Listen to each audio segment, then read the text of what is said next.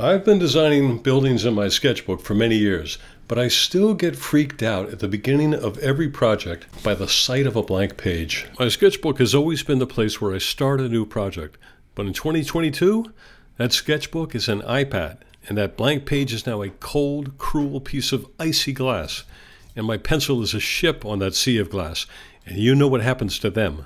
But designing buildings on the iPad has so many advantages, I'd be a fool to give it up. So today I'm going to show you how I start sketching freehand plans in Morpholio, but with a life preserver of being able to add scale to those sketches even if they don't have scale when I begin. So the first and simplest kind of drawing you might make when you're designing and plan would be just what I would call a completely freehand sketch. In other words, sketches that you make, and I'm going to use a four finger tap here to make the interface go away. Sketches you would make just during the normal course of designing, uh, very similar to what you might have done with a sketchbook in the old days. And the way I do this is just starting with, you can start with a blank sheet to take the uh, example to its most extreme. So you're not worried at all about printing it out at a particular size. And I just usually pick a um, I like the pen because it uh, makes it very solid. It makes a very solid line. Uh, it reminds me of the old razor points that we used to use in our sketchbooks. Now here I've got the dotted line selected, but I'll go back to the regular line. And then I can, of course, do a two finger tap to get rid of that. And I'll make it a little bigger than I normally would just to show the line clearly. But you would just start, in this case, I'll start with an idea of for a house where I'm going to start with the smallest bedrooms possible. Maybe that's 10 feet by 10 feet. And then maybe they're going to have a closet between them and this kind of thing. So there's no scale.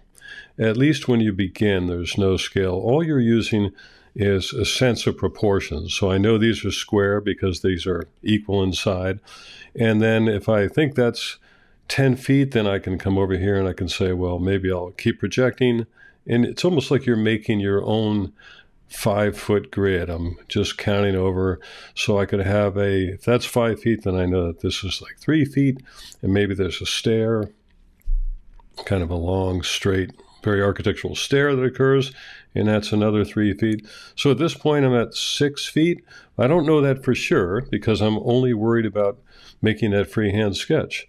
And so I'll speed this up a little. Let's see if I keep working this through.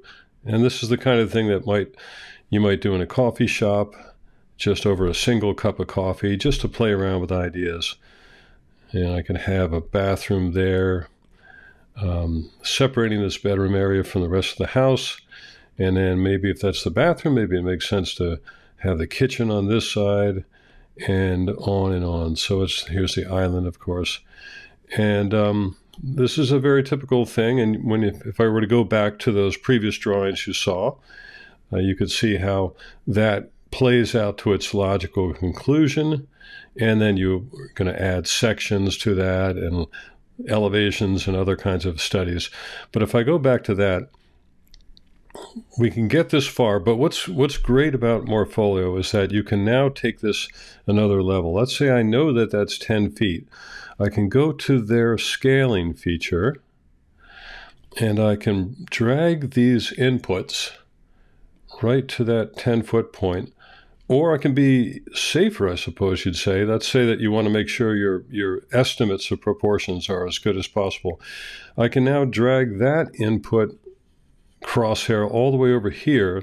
So this is actually 20 feet plus the thickness of those, of those closets. So just arbitrarily, let's call the exterior walls six inches and the interior walls four inches. So I have 20 plus six and six equals 21, plus two feet for the closet. That's 23 feet plus four feet each for these closet walls. So that's 23 feet eight.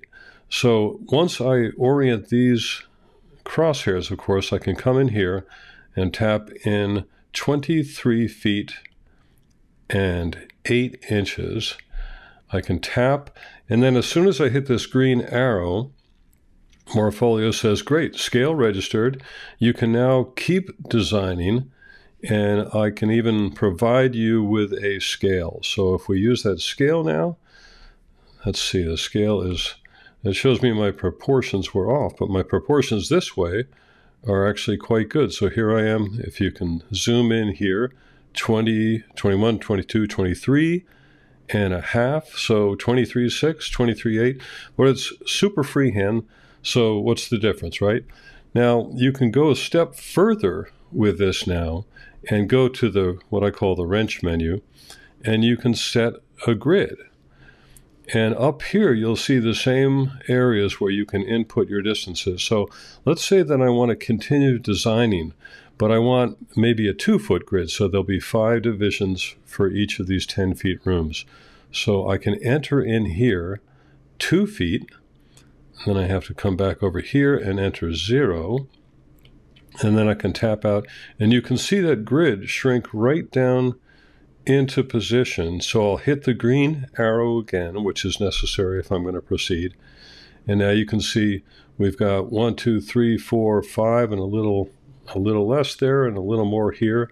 So that grid is now working and I can continue to design now in proportion. So now all the all the decisions I make, as long as I've got my pen chosen, I can come over here, I can start adding up grid sections. So here I've got 5, 10, 15, 20, and then 25. And if I want to make this whole thing 30 feet long, now I've got 15 two foot or more. I guess I'm a little off with that, but let's see what I did. I'll bring up the ruler. And again, this wonderful feature of being able to tap the ruler twice and grab it and pull it around. So if we look from here to here, it's 60 feet because there are 30 of these small divisions. So that's going in and out of scale, but basically starting with a completely freehand sketch like you might have done on a paper sketchbook all those years ago. Now let's look at the next way you can develop a design and plan. To see the next installment, click on the video on the left side of your screen right now, and more videos will be coming in this series on the most important drawings in architecture.